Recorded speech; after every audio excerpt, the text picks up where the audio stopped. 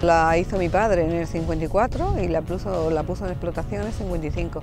Entonces yo conocí la vida de mi padre aquí en esta salina y para mí esto tiene un valor incalculable. Las salinas marinas, la única que hay a nivel nacional que trabaja artesanalmente, es esta nuestra, las la Salinas Biomari. Estos son raíces que tenemos nosotros y raíces que hay que mantener.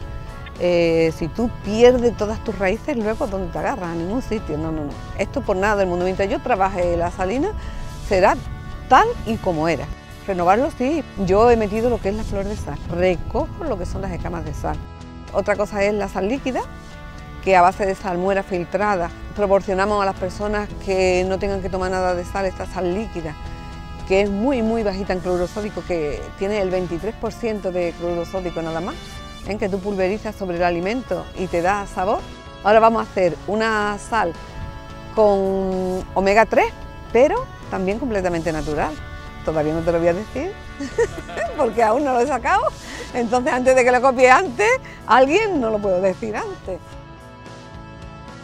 Nuestra sal es que es una sal virgen, no está tratada, contiene todo lo que es el hierro, el yodo, el calcio, el flúor, todo, pero de manera natural.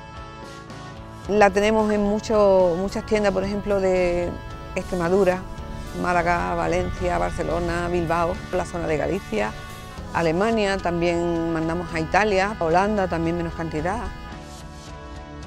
Porque yo no sabía, yo digo, ¿y yo cómo voy a exportar? pero de buenas a primeras me solicitan sal, mm, pregunto el transporte, mm, llegamos a un acuerdo, la analítica correspondiente a que yo le tenía hecha mi producto y ya está, así, así empezamos a nosotros a exportar. Sobre todo por mis hijos sí va a seguir, además del valor sentimental que tiene, que es lo primero, no, no podemos nunca dejar que esto, por lo menos hasta mis hijos sí.